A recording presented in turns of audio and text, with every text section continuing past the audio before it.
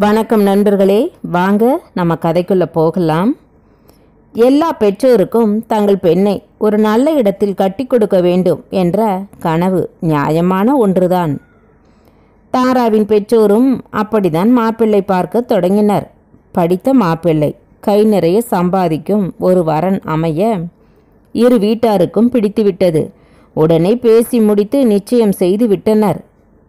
தாராவும் நிச்சயம் செய்த மணமகனுடன் தினமும் அலைபேசியில் பேசத் தொடங்கினாள். திருமண நாள் நெருங்க நெருங்க அவள் மனதில் ஒரே பதட்டம். வீட்டில் உறவினர்கள் அவரவர் பொறுப்பேற்ற வேலைகளை செய்து கொண்டிருந்தார்கள்.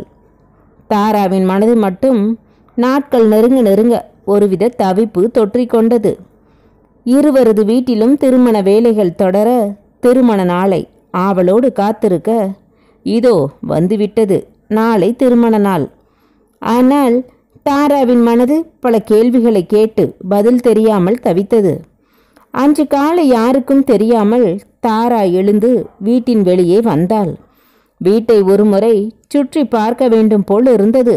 தினமும் அவருடன் அலைபேசியில் பேசியதில் இந்த வீட்டை விட்டு செல்லப் போகிறோம் என்று அவள் அப்போது நினைக்கவில்லை. ஆனால் ஏதோ ஒன்றை இழக்கப் போகிறோம் என்று மட்டும் அவள் மனம் பரிதவித்தது. தந்தையையும் தாயையும் பார்த்தாள். எல்லோரும் அவரவர் வேலையாய் இருந்தனர்.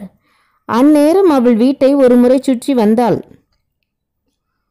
ஓரிடத்தில் நின்று விரித்த கண்களோடு வீட்டை பார்த்தாள். கண்கள் சுருங்கி பின்னர் ஓரத்தில் நீர்த்துளி திரண்டது.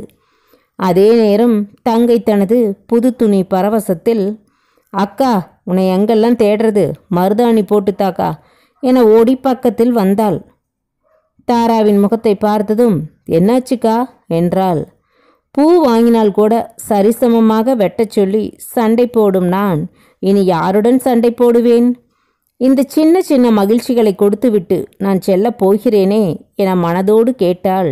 விழியோரம் வடிந்த நீரை துடைத்து கொண்டே ஒன்றுமில்லடி அப்புறமா வந்து போட்டு தரேன். சொல்லி அவளை அனுப்பினாலும் நாளை முதல் இந்த உரிமை தொடருமா என எண்ணினாள்.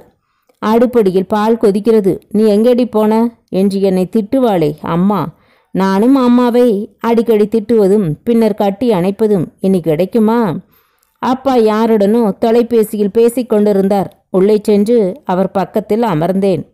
அப்பா பேசிக்கொண்டே என்னை பார்த்து அம்மாவை கொஞ்சம் கூப்பிடுமா என்றார். நீ எது கேட்டாலும் வாங்கி தருகிறேன். நீ என் செல்லமடா.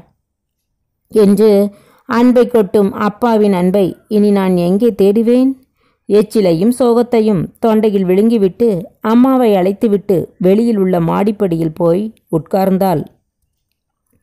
எங்கிருந்தோ குரல் கேட்டது. அடியே உள்ளப்போ காத்து கருப்பு பற்ற போகுது. நாளை கல்யாணத்தை வச்சுக்கிட்டு வெளியே உட்காராத.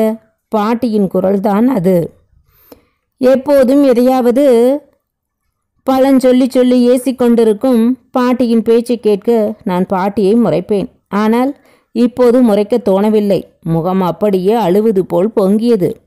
என்னாச்சுடி? என் ராசாத்திக்கு பாட்டி அருகில் வந்து கேட்டவுடன் அதற்கெல் அதற்கு மேல் முடியவில்லை. பாட்டியின் மடியில் முகம் புதைத்து கத்தி அழுதேன். எல்லோரும் பயந்து கொண்டு ஓடி வர அம்மாவிடம் அம்மா நெங்கியே இருந்து விடுகிறேன். உங்களை விட்டுட்டு நான் எப்படி செல்வேன்? அங்கே எப்படி இருக்குமோ எனக்கு பயமா இருக்கிறது என்று கண்ணீர் விட்டேன். உடனே அப்பாவின் மனம் அழுவதை நான் உணர்கிறேன். அப்பா என்னை அணைத்து சமாதானம் செய்கிறார். என்னம்மா தாரா நல்ல இடம் பார்த்து தான் பேசி முடிச்சிருக்கேன். நீ அங்கே இதை விட சந்தோஷமாக இருக்க போகிற சாயந்தரம் ஆயிடுச்சுன்னா கல்யாண வீடு. அழக்கூடாது. என் கண்களை துடைத்து விட்டார்.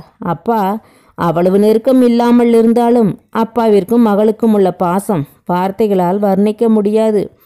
தங்கை குலுங்கி குலுங்கி அழுதாள். அழாதக்கா மாமா உன்னை நல்லா பார்த்துப்பாருக்கா என வெகுளி பேச்சில் சமாதானம் செய்தாள். ஒருவாறு மனதை தேய்ச்சி கொண்டு எந்திரம் போல் நடந்தேன். அன்று இரவு எனக்கு பிடித்த அத்தனையும் சமைத்து கொடுத்தாள் அம்மா. ஆனால் என் மனம் புண்பட்டு போய் இருந்ததால் எதுவும் சாப்பிட பிடிக்கவில்லை. நாளை எனக்கு திருமணம். போகுமிடம் சொர்க்கமோ இல்லை நரகமோ என்றெல்லாம் தெரியாது. ஆனால் நிம்மதியாய் வாழ்ந்த ஒரு சொர்க்கத்தை விட்டு மட்டும் நான் செல்ல போகிறேன் என்பது மட்டும் தெரிந்தது. ஆடி வயிற்றில் நெருப்பை கட்டி வளர்த்த அம்மா நான் கேட்டதெல்லாம் வாங்கி தந்த அப்பா என்னிடம் இருப்பதெல்லாம் அவளுக்கும் வேண்டுமென்று உரிமையோடு சண்டை போடும் தங்கை. எப்போதும் என்னை தவறு செய்ய விடாமல் சத்தம் போட்டு கொண்டிருக்கும் பாட்டி எல்லா உறவுகளையும் உதறிவிட்டு எங்கோ புது உறவுகளுடன் நாளை முதல். ஆணின் திருமணம் என்பது ஆண்கள் வாழ்வில் நடக்கும் ஒரு நிகழ்ச்சி. ஆனால் ஒவ்வொரு பெண்ணின் வாழ்வில் அது முற்று மாறுபட்ட உலகில் காலடி வைக்கும் மாற்றம்.